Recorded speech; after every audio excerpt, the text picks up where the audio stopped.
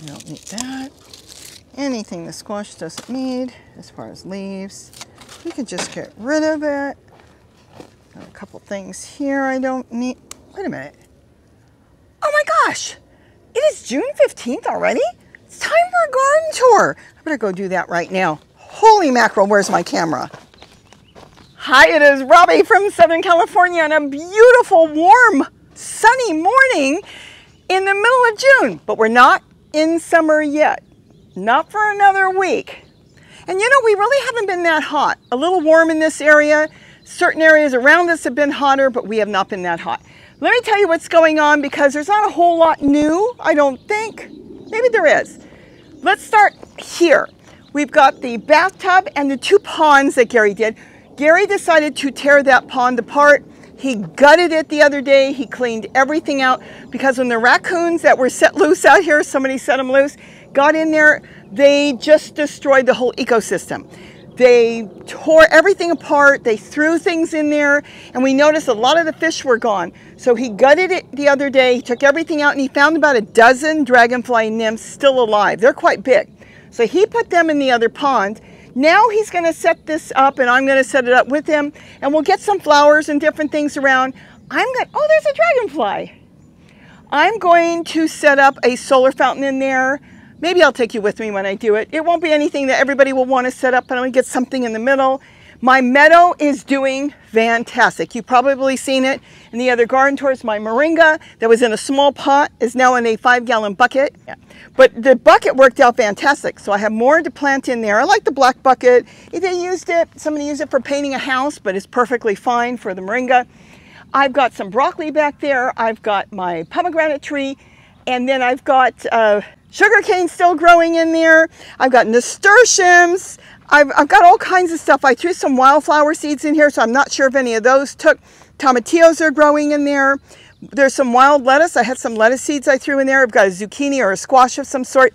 Put a bird cage on top. That's growing in there. So, and I've got your uh, geraniums in there and looks like I've got tomatoes there and even a tomato here. I didn't plant those. They just showed up. I probably tossed a few tomatoes there. So that's doing really good. The whole wall is producing a lot of squash. I'm so excited. I gave some away to some friends the other day. They showed up and they were like, wow, I brought in a whole bunch I'm trying to get rid of to use. No, I'm, we don't, we use so much. It's unbelievable because the dogs love it too. So I can just fry it up. You know, you're just basically cooking it on a frying pan with a little butter tastes so good and everybody loves it. So we go through a lot of squash and pretty soon I'll freeze it. Not quite there yet. There's a monarch butterfly flying around.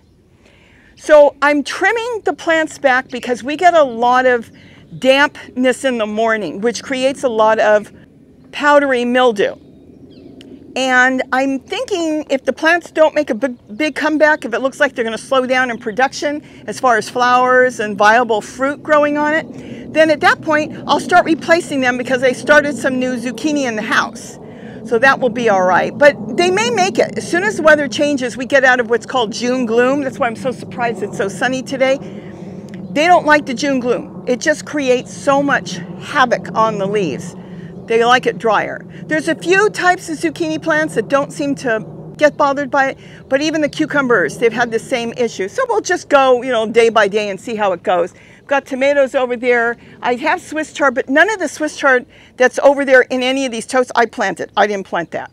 And then back here, the truck bed is doing fantastic. All the buckets have their own squash in there. I have no squirrels because of the tulle getting in there. That is fantastic, no squirrels couple snails, but that's because the snails were under the rim of the truck.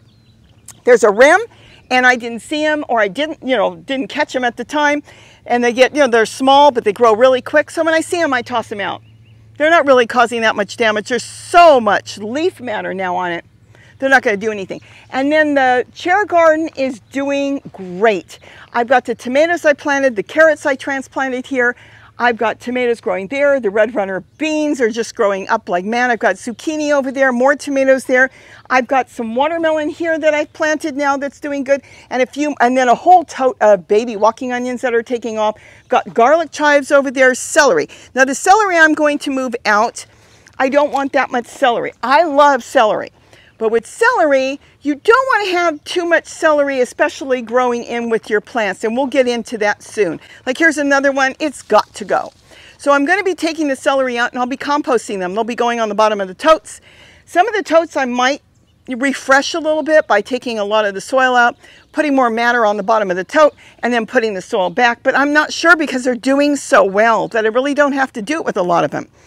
And then I've got flower pots all along the bottom and they've got plants in them. And that's a place I can plant my celery. Rabbits don't really bother the celery too much, so that works out really good.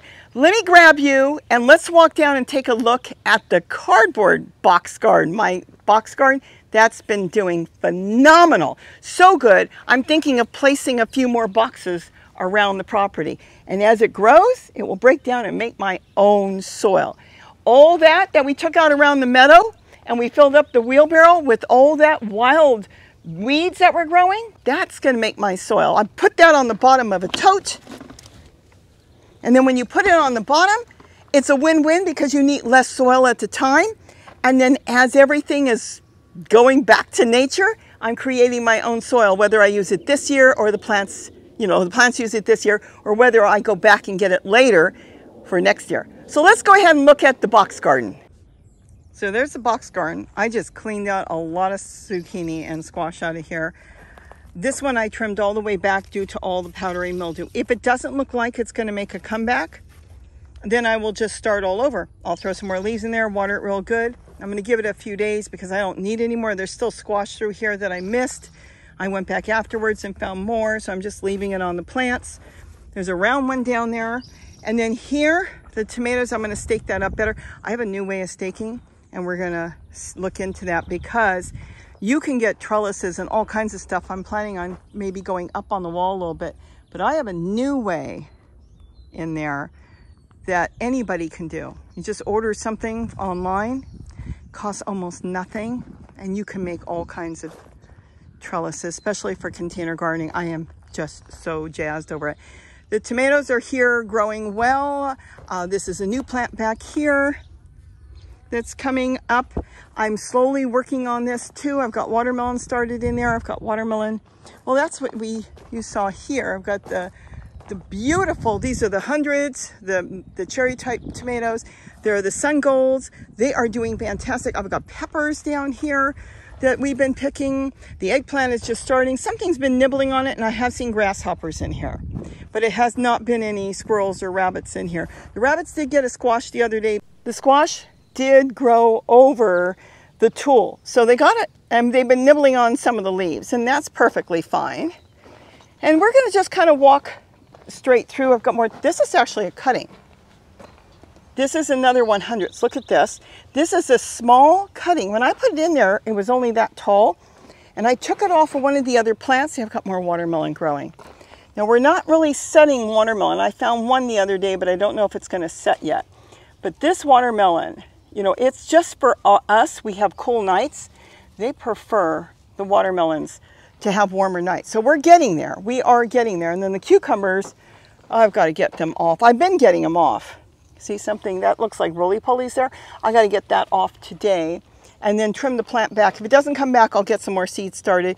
This has been doing fantastic. And you know those hoods we make, you can put them anywhere. You can just sit them in a tote and protect some young plants. I've got a watermelon planted in there. More watermelon through here right now. I just laid the tulle here. I've got some more squash that I planted in here. More in here. I'm going to get more through there. There's not a whole lot here, so let's kind of walk through quickly. The eggplants, I've got the peppers growing in the grow bag. I've kind of given up on grow bags. It does, they don't do that well here, that's all. But for the peppers, that'll be okay. Maybe I'll drag a couple more grow bags there because peppers, unlike other fruits and vegetable plants, they don't mind getting dry. Look at this. Oh, I get to show you red. See how they go from black? These are the black cobras. Look how big they are. This plant is two years old now. This is off the pepper tree. But see this? Isn't that cool? So when they're real tiny, I don't even see any teeth. Well, I guess they're black now. A lot of times they're green. No, they are growing in black from the beginning. Interesting. But they start kind of green. There's kind of a green one down there. And then they turn black as they grow, and then they turn red, and that's when they're hot. When you dry them, they're even hotter, but that's hot. You want to cut those up carefully when you're cooking with them or making salsa because they are, the black cobras are really hot. Malabar spinach from last year going way up in the air. So I don't know what I'm going to do with them because like I said, here I haven't done anything. I'm kind of still, well, I'm not figuring out what I'm doing. As you see, all the weeds are gone. I've been going through and collecting all the weeds and that some of the totes, you know, that I'm going to set up. Then I started putting the weeds in there like this one. I've got a squash growing in there. So I'm slowly going through here and deciding what I'm going to do. Green sorrel, it's drooping because we're getting warm. The sun is really, really bright. These are those planters that they used to sell years ago. Not crazy about them. I want to get some more pots on the bottom, but they're here, so I'm going to use them. Set something up on that chair. Let's see, that's just a chair I picked up out of the trash. I mean, it's nothing fancy. It's an indoor dining room chair, and it works. But I'll get a better tote on there. I'm going to get a big tote on there. Here's my carrots. I let them go to seed, and then I just let them drop. And then I transplant them out of here. See all the baby seedlings? And just go get them. Look how gnarly that one is. I let it do its thing and have the seeds, and then I have seeds from there. Even there's a sunflower back there I can take seeds from. And then more of here of nothing I haven't planted yet, but I've got parsley in here. So this works out really good. I might just leave this because this gives me all the parsley I want. Plus it will go to seed and then I can transplant some of the babies or just take some of the seeds. I'm still debating on what I'm gonna do here. I'll probably leave the basil. Since I tricked that basil, it grew all winter and then maybe I'll do tomatoes and maybe I'll do another eggplant in here. See how you can use three chairs? These metal chairs are like 10 bucks. You can get them at Target or Walmart or anywhere. You can get them at yard sales for next to nothing and then just a board across and you can put three totes on two chairs like that. Now you wouldn't want to put them on dirt. This is more of a gravelly driveway, so there's no real you know soil. Otherwise, because the chair legs are just like pipes, they may sink a little bit, so you could put bricks under them or something. I've even used old dish plates once. That will work. Or cement patio would be perfect, or wood patio. And then you could get three totes with two chairs. All right, let's go in the front yard. We are now in the front yard. I already know I'm going to get squash in here, some sort of zucchini. Maybe I'll do cocozelle. I'm going to get a few different types growing in here. It'll be easy to tulle if squirrels come in and rabbits cannot get into this raised bed that Gary made. And if you want to know how to make it, he's got a video. Go check it out. This is a puzzle. The whole thing comes apart. Isn't that pretty? He made it for me. So anyways, I'm going to go through here. I have not yet. You know I'm busy. I've got all these gardens to take care of because of these trees, and I'm really pretty sure that these trees are blocking out pretty much all my sun. I may put some tomatoes in, I'll take the tulle down from last year. Don't, don't throw tulle away. We can use tulle for all kinds of things, even old tulle. Oh, don't throw it away. Put it in a flower pot, tuck it away somewhere. I think here I'm going to go ahead and get some greens going. And then if I plant them and take care of them, I can get some tree collards or different types of collards or kale growing and keep that going maybe all year. Might put some tomatoes in here, but I don't know if I'm going to do squash. Because last year I put some squash in there, and though I grew it, it grew, it didn't grow like it did the year before and the year before that, which they were massive. They were like torpedoes, like what I gave to my friend. They were all massive, but because the lack of sun, they don't grow as big and the plant doesn't stay as healthy. We're going to have to talk about plants because some of you have been asking me different questions on plants and I'm thinking it may not be the right weather and if they're not healthy, that's when you get a lot of insects.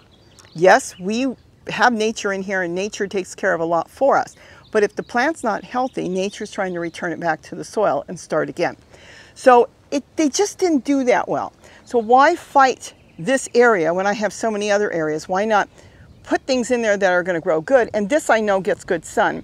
It's pulled out a little bit more, and as the sun goes across the sky, it just seems like it gets a little bit more sun. Here, know what's missing. Some of you are yelling, I know, I know, it's the redwood table is missing. This is the table that Gary found by the railroad tracks. He was driving by the railroad tracks and he saw it, somebody had thrown it away, and it's been sitting in the yard by my chair garden all these years. And the other day I said to him, wait a minute, I think I have a great place for it. I want it in the front yard. Get rid of the redwood table that had these little planters on it that don't do anything for me really. They're good for starting stuff, but that's it, or maybe flowers. Bring the table here because I have too much ginger and too much turmeric, and we didn't really store it that well as far as freezing it and it's all growing.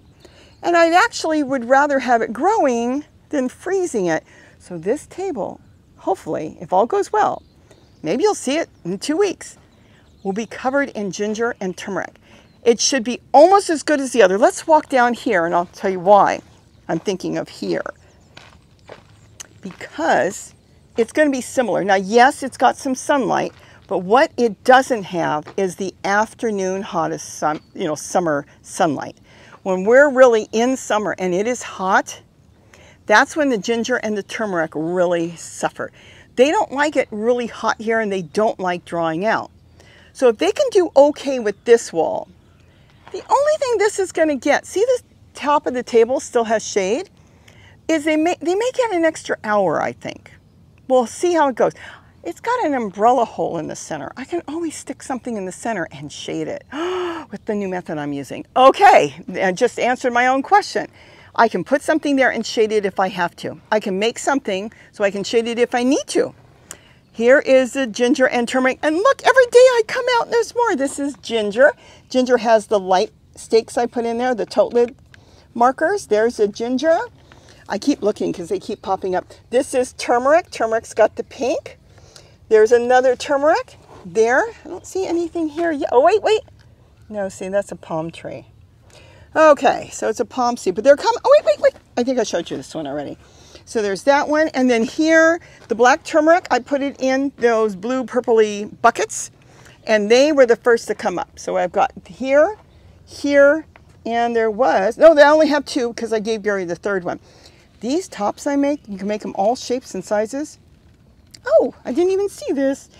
Work fantastic. Now, why do I put a top on some of them? I haven't had too much problems this year, but sometimes I've had a rat or something get up here and want to eat the new growth. That's all they want is the new, just the, the little bits coming up. Like, that's why I put this wire basket, like this. I, like I said, I haven't seen any this year, but I've come out before in the past couple years and they've chewed it down a little bit. Just take it down, just eat the top. So I figured since I've got them laying here, there's another one.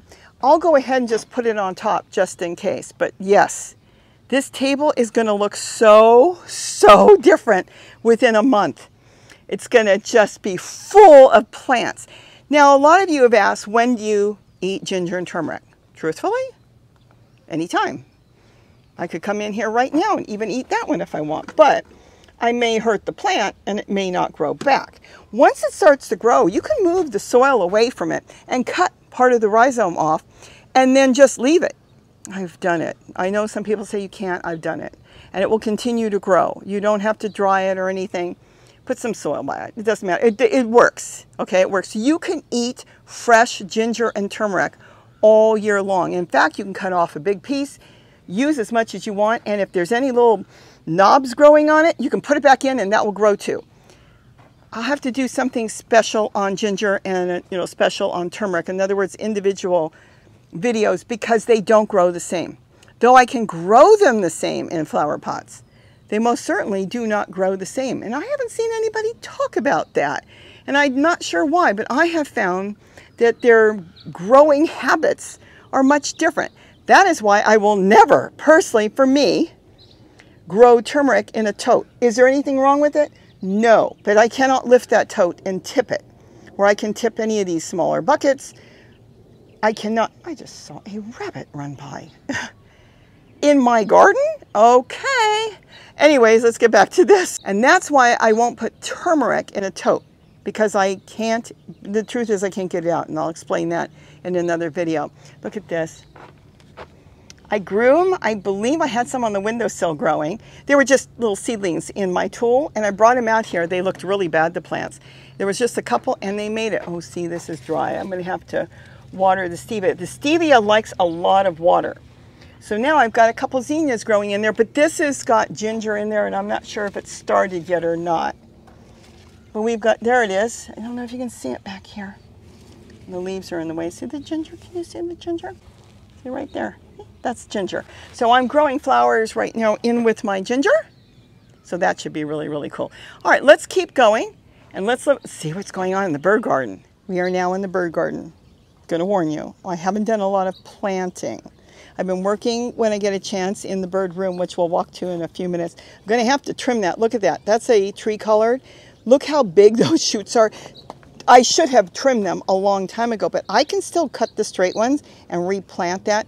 Any of these can be replanted into a new plant. These are perfect. Get them this size and this is perfect. But look at that. Isn't that gorgeous? It's really staked up, but it's doing really good. I'm going to be planting in here soon. Got some squash that my daughter gave me. I, think it's called candy squash. She said they get like 10 pounds. I might put them in here and let them run all over. She said they get really big.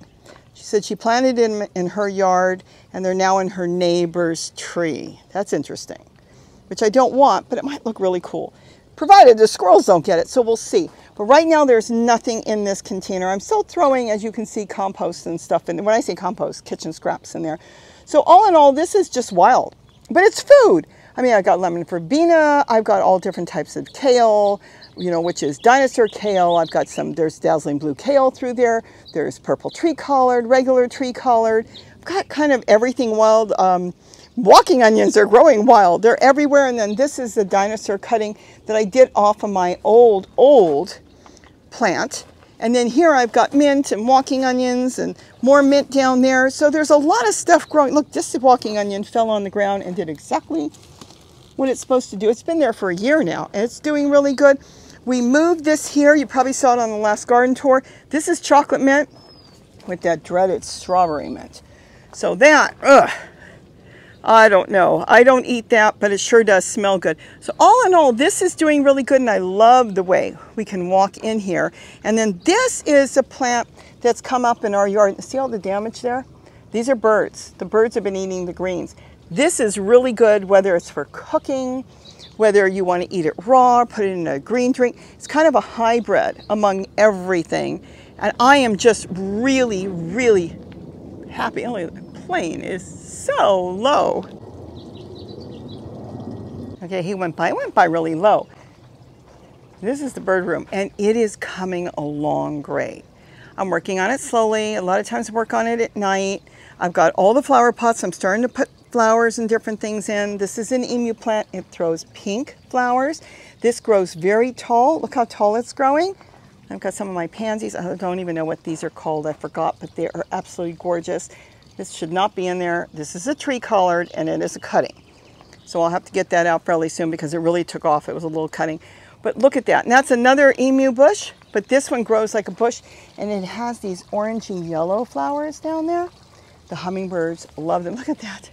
That's my bottle, my soda bottle fountain. Is that cool? I love it. The, the solar panel's up there. That thing just goes. I put a stick through here so the birds can land on it and use it. And look at that. This is so clean and it's been out here for days and days. And I will say it's balanced, which is not a good thing. It's literally balanced in that pot. I have to secure it better. Everything here is actually running. Got the rock one back there that's running. Part of the solar panel is in the shade, so it's just kind of burping. Then I've got the glass bowls. How the gold bowls always kind of turn yellowish? Just cleaned that one too, I think, last night. There's got the blue cup in it. Then I've got my bucket. That's dripping. It's probably not sitting there right, and we can fix that so quickly. Plus, it's very bright, the sun. It probably does not have, there we go, see? Just needed a little alignment and there it goes. Now it's fine. And then I've got this one. This is one of my favorites. I made this out of cement. We haven't been back here probably. There's a bucket with some different types of brassicas in there that came up. That is just mint growing wild all through there. It's spearmint. And then I've got my rose bushes. I have to be careful. Gary told me not to plant them because they're so full of thorns. And yes, they are full of thorns. And yes, I have been bitten by them. But you know what? They grow like weeds and I propagated them. Took it off of another one that I had, did some cuttings in a tote. Put, like I showed you before, I think I, you take a pot, a small pot, put some cuttings in there and then sit it in the totes that you're growing your, your food in. And it just loves it and they just take off and grow the cuttings and then you can move them anywhere you want. Old candlestick, I made that one years ago. Candlesticks are fun to make. This is nothing. This is still to remind me to change that up because I want to put a really nice one there. Here's the bucket. Look how it's running. That one came off of an electric one. It, you, the pipe was inside. I didn't bother, bother putting the pipe back inside, but it goes inside the bucket. I don't have to clean that thing for the longest time because it stays so spotless clean. That's the globe, and that's in the shade, so it's not running right now, see? But as the sun moves, it will start to run, and then that one will run. I've got walking onions. I've got this solar light that my daughter got me, and then that's a solar light that looks like, well, it's supposed to look like water at night, which is really cute because it lights up. And that's a solar light.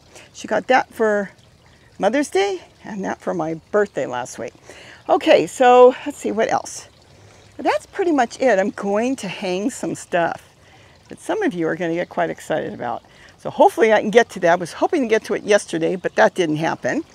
So I'll get to it soon. And then I'm thinking some of you are going to look at it and go, I want to do that too. That's what I'm hoping because I came up with it and it's working fantastic.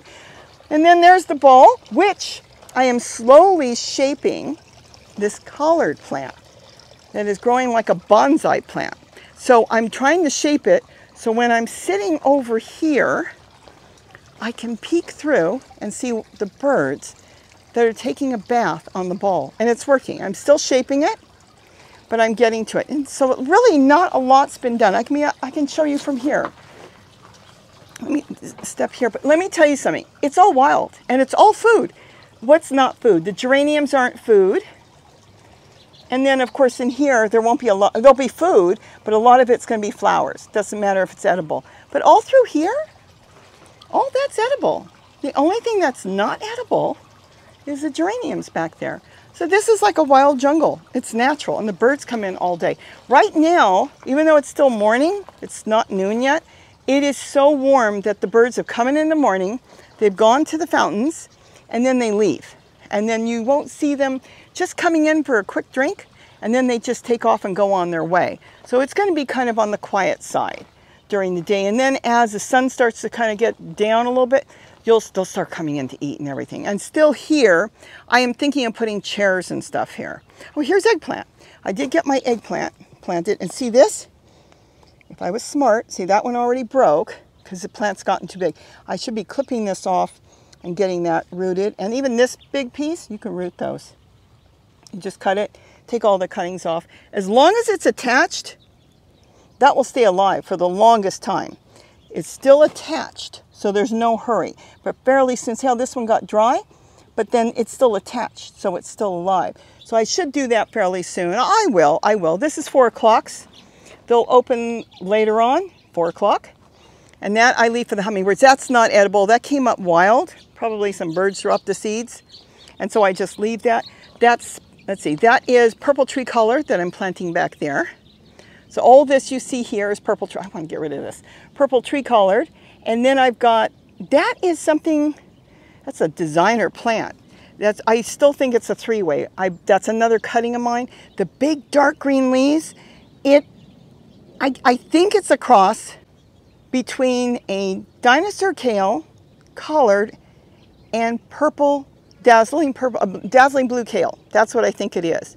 I think some seeds we had growing, we didn't know what they were. They flowered and the other ones flowered. And then those offspring, the third generation, it looks like a cross between those three plants. And it tastes fantastic. It's really, really good. So that's it. So nothing is really new in there. I want to put some more eggplant. That's last year's eggplant, two years old actually. I think it's better to start new and I've got a couple more I want to plant. And like I said here, let me step back. I do believe I'm going to put some chairs here. Oh, and let me show you this. Yeah, the birds bury the seed. Well, actually, they don't have to bury it. It falls from here. This is spray millet. Do you know how much spray millet costs to go buy for your pet birds? Look at this. This is spray millet. And this is the regular millet. And this is coming out of the bird seed that we feed the birds because we feed bird seed to the birds that are pet grade.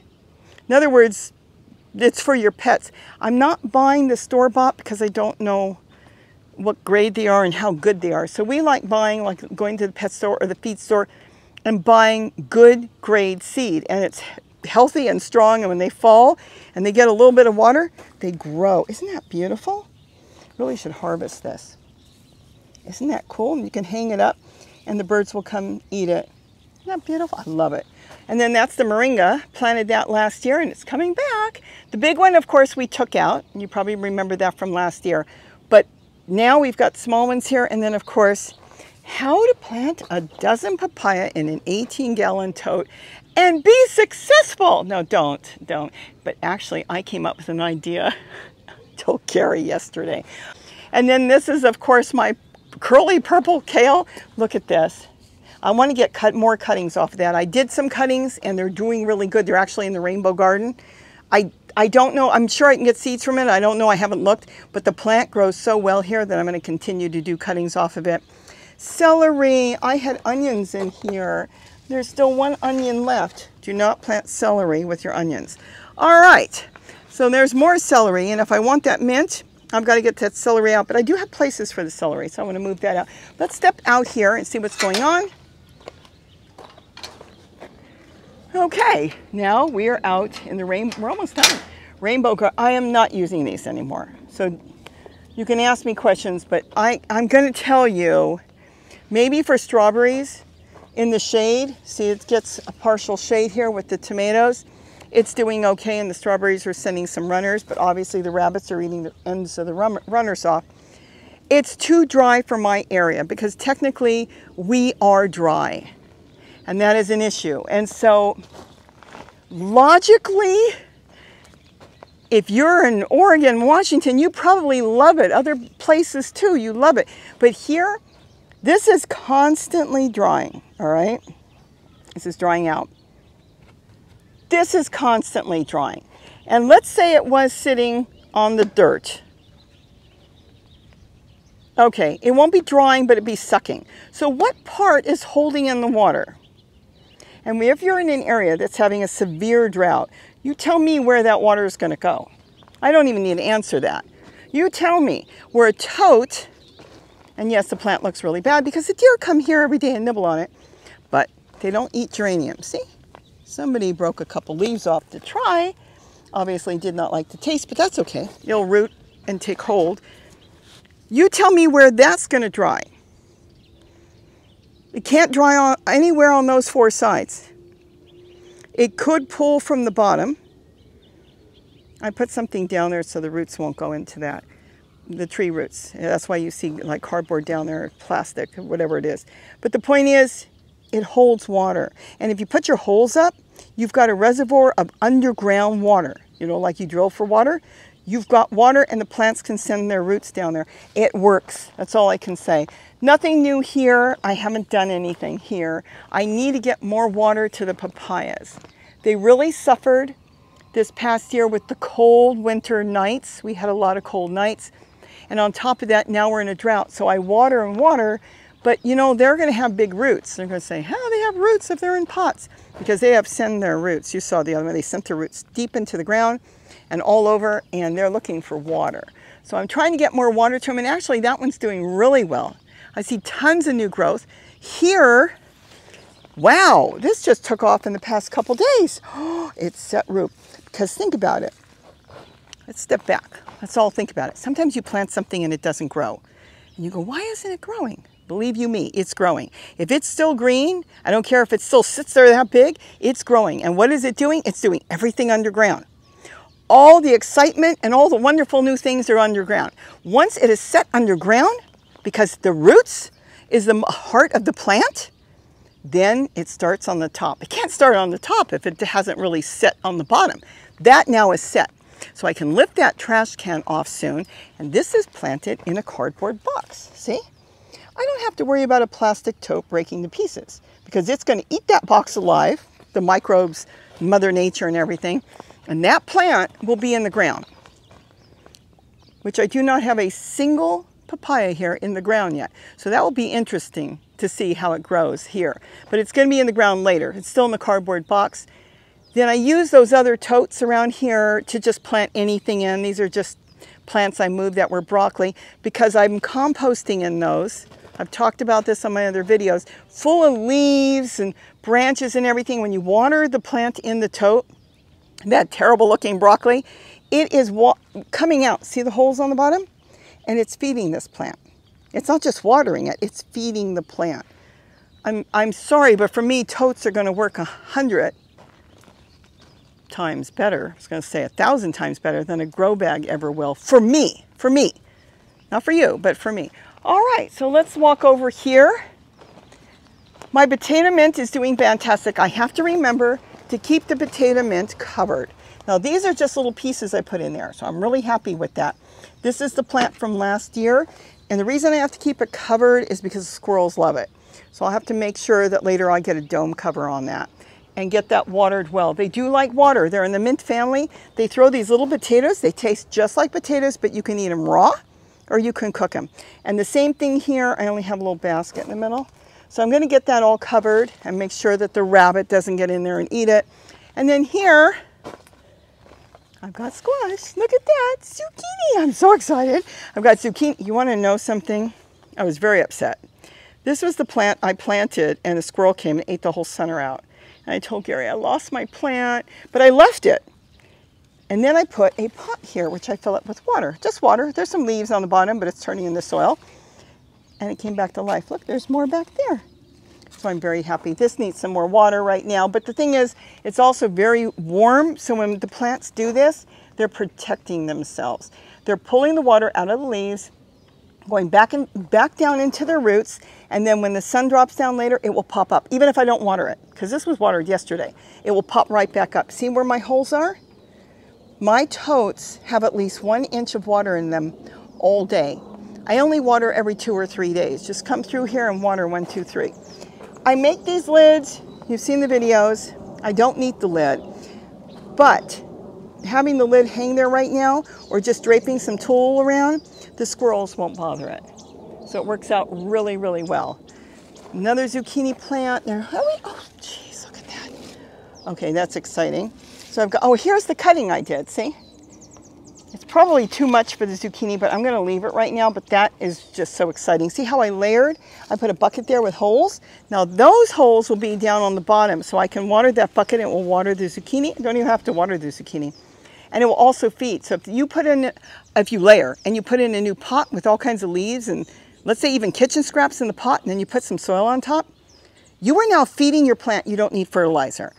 Some of you have told me you started your plants, they were looking really good and then they've cut back on growing good. They probably need some plant food because Mother Nature would be continuously dropping leaves. It doesn't matter what leaves. It could even be their own leaves, but they're constantly dropping and constantly feeding the plant. So if you take something and go look at my two system, that would work perfect for you. You set up a two system in your totes. If you've got totes or raised beds, and you won't have, that's a two system. You won't, see how beautiful the celery grows with two, two system? You load this up with whatever. I see peppers growing down there. And then I don't think I, I haven't lifted this. No, I need an extra hand. You put your kitchen scraps, leaves, or whatever you want in there. You water this. You have holes in this, holes in this. It waters that and it feeds everything. You can't beat it. You cannot beat it. And that's it. Look at that. Don't look at that because that's my next project. So it's one of them, but that's not the one I'm really excited about. It is just doing fantastic. I start my seeds in here. I don't have to even harden them up. Look at that, peppers from the grocery store. Peppers from the grocery store, isn't that cool? Gary went to the grocery store, brought home a pepper. I planted the seeds and he's been pulling them out and putting them in his garden, some of them, and then I'm gonna start some more in there. Here, I was gonna tear this apart, but the tomatoes came up from last year so good. So I'm going to redo this. I haven't done it yet. Oh, and I have, see, this is what I'm telling you about propagating. Let me see if I can get you in here to see this. See this? It's probably set root. Yeah, it's starting. There, that's potato mint. I'm hoping you can see that because I can't see the camera. All right, that's potato mint. And I had a piece when I was planting and I stuck it in a pot. I should have done more. It is a real difficult plant sometimes to find. It grows like mint. It's got a square stem like mint does, but you don't, you, you could, probably could use the leaves, but there's no taste to them. It's the tubers that you want. And that's what you want potato mint for if you want to grow something like that. And my pizza garden, you cannot beat that. I haven't done anything with this this year. I was thinking about it, but the basil, the purple and the green basil came up on their own. I gotta be careful, there's no bees here. Watch me knock them over. Look at the rosemary cutting I put in there. See, in its own pot. Rosemary, it was just a little cutting. The tomato has come up on its own. I have no idea what kind of tomato, but I've got a basil down there. Oh, I have three tomato plants. Two. two tomato plants coming up in there. Now the peppers are from last year. That's why they look so weird. They're from last year. They grew up, up, and then they lost all their leaves for the winter. And looky, looky, they are just starting to load up. I know you can't see because I'm one-handed with this, there's more peppers under there than this one. And then they've got back there, and then this is thyme. Finally, I found the place that thyme grows. It's in its container, and it's just sitting there. It is set root in the bucket. It's in the middle. It's so happy it flowered, and it's continuously growing, which is a good thing. Then I've got my sage. I've got my regular sage that I bought a while back at the 99 cent store. They used to get these live plants in to eat. So that's my original sage. And then my tricolor sage, this was a cutting. If you go back last year, you'll see it was very small. And then a tomato plant, again, is coming up. No, I haven't gotten to that yet, but that's going to be another vertical garden. This is a vertical garden. And I know some of you have said, oh, it's going to fall. It can't fall. It's going to fall down. Nope, it can't fall. It's all locked. If you want to make a vertical garden and you only have a little tiny space, think of all the stuff you could grow in this. It's amazing how much you actually could grow in here because you've got all these five gallon buckets and they're all locked. So watch the video if you're interested. You can do a whole wall with this and it, you can go as high as you want. I didn't want to go that high, but I could have. And I'm going to make one more there and then probably put one more tote back there. And then this I'll just leave for flowers and stuff. And then here I've got a celery growing back there. I've got another purple tree collard there. So it's just, this is this will be it for in here and then just to be able to sit down and enjoy it. And that's what I want to do this summer, I think. No, I've got so much to do. I came up with something that is so exciting. I just started using it and I can't wait to share it with you guys. So that is the garden tour. I am getting back to work. I have a fountain I'm working on that so many of you are going to want. I've got a few of them, more than one. I've got a whole bunch. But there's one that specifically a bunch of you have asked about. And then I've got another one that's super easy to do. And then I've got another project for trellising. Oh my gosh. We'll get into that another day. With that, I hope you enjoyed this. I'm going back to work. And don't forget to eat what you grow. Bye-bye. Oh, my pepinos. They just keep growing and growing.